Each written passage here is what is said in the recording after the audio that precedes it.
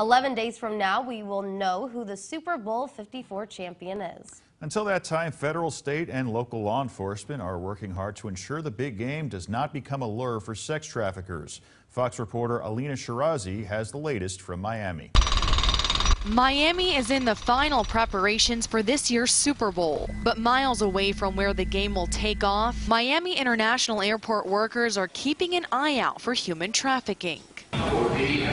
Airport employees are working with the Department of Homeland Security on how to spot potential human trafficking victims. Florida is a state with the third highest rate uh, of per capita calls regarding human trafficking.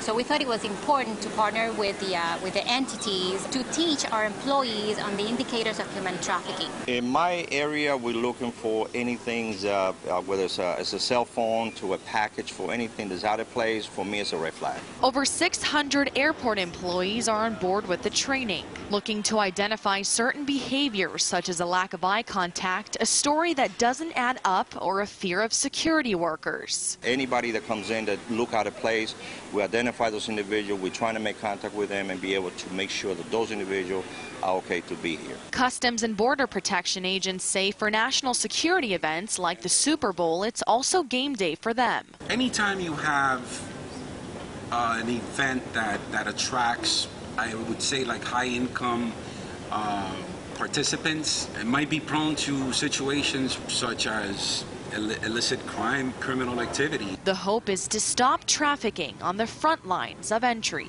If you see somebody that their freedom is being kept from them, they're not allowed to move freely, they're not allowed to express themselves freely, you see that somebody else is holding onto their documents.